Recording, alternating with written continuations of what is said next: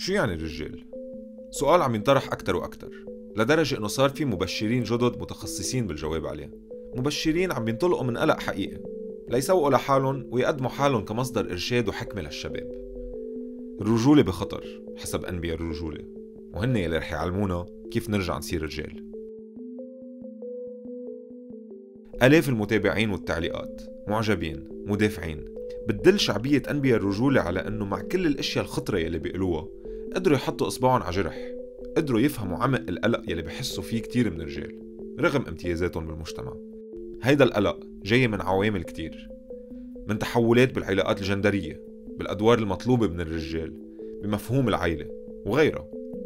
وهي التحولات خلقت قلق عند الرجال قلة ثقة بالنفس ضيعان بالدور إحساس بالعجز.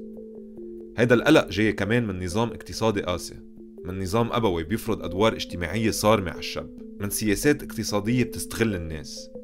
هول كمان بيخلقوا قلق عند الرجال. بس لأنبياء الرجولة كل هيدا مش مهم. المهم هو المؤامرة الكونية ضد الرجال مش امتيازات الرجل بنظام أبوي هي المشكلة. مش الرأسمالية اللي بتستغل الرجال مش الأزمة الاقتصادية اللي بتجوعه مش التعامل التعسفي بالشغل ولا المواصفات الخيالية والأعباء اللي بيفرضها المجتمع على الرجال ليكون رجال حقيقي لا. المشكلة بالنسبة لأنبياء الرجولة بغير محل ما في قلق في عدو It's bullshit. Women should clean. Men and women are different. We're not equal. بوجه العدو الوصفة بسيطة عودوا لهويتكم كرجال شو يعني؟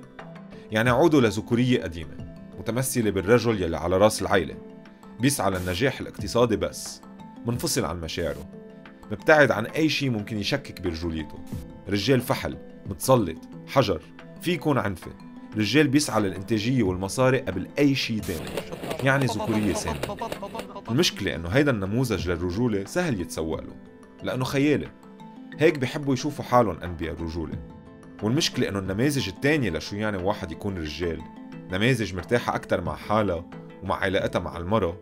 أصعب يتسوق لها بكليبات قصيرة على ال social media. في كتير أمثلة عن شو يعني المرأة المستقلة.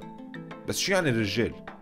شو يعني الرجال إذا ما كان بالمواصفات يلي محددها محمد اسكندر؟ الجواب صعب فعلا. وهيدا الفراغ يلي عم بيعبوه أنبياء الرجولة. المشكلة إنه هالجواب الوصفي بيترجم بخطر حقيقي على النساء وبيحولهم لجوايز للرجال.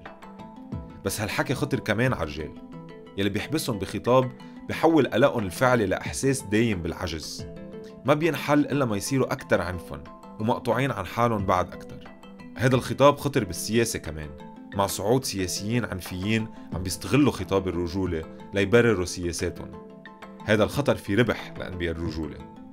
الرجولة صارت بزنس خطابهم بيروج لكتب وبودكاست وجامعات وأفلام. شو يعني واحد يكون رجال؟ صار عنده تمن. خطر أنبياء الرجولة وضرورة التصدي لوصفاتهم ما بيلغي السؤال يلي بلشوا منه.